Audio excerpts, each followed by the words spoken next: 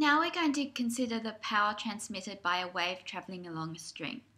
So we're going to start from the formula for kinetic energy. I'll show you this derivation in just a minute.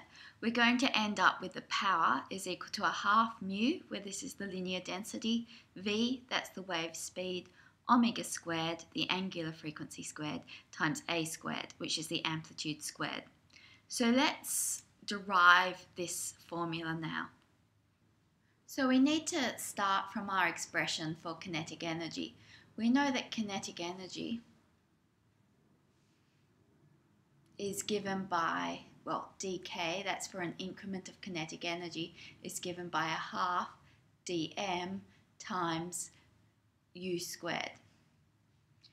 Now, this is for an element of string. So this speed here is not the speed of the wave, it's the speed that the piece of string is moving at. So in order to work out how quickly the piece of string is moving, we're going to need to use y of x and t is equal to a sine kx minus omega t plus phi. And then we can differentiate this to find out how quickly a piece of string is moving. So u is actually equal to dy dt which you can see is equal to, in this case, minus omega a cos kx minus omega t plus phi.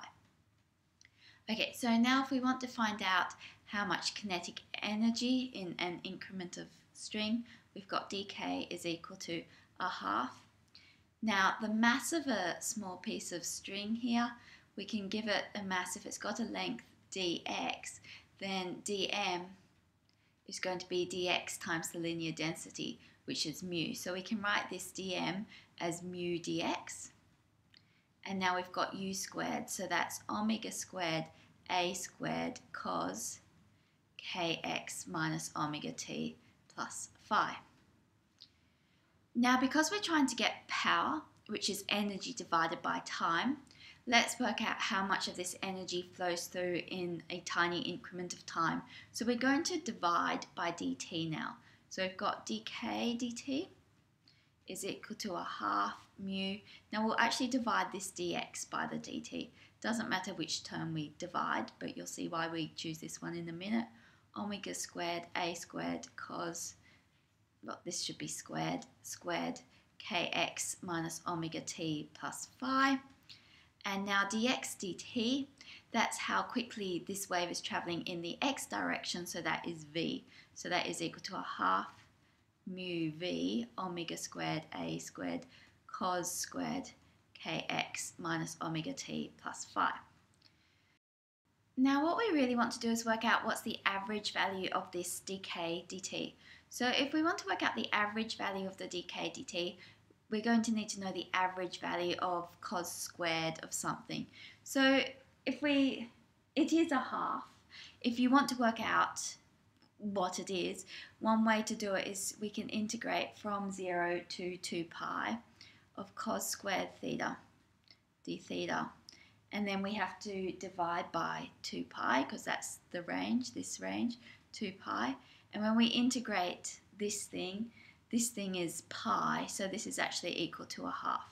So that's one way to show that this cos squared, the average value of that is a half. So we have that dk dt average is equal to a half times a half, so that's a quarter mu v omega squared a squared. So we've now worked out how much energy is transmitted as kinetic energy. However, the string has also got potential energy, and the potential energy we've seen in simple harmonic motion gets converted between, well, the energy gets converted between kinetic energy and potential energy, and on average, these two things have the same value.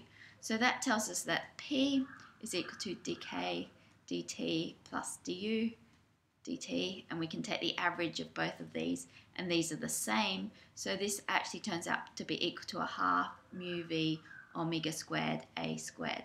So we've now shown the relationship that we set out to prove.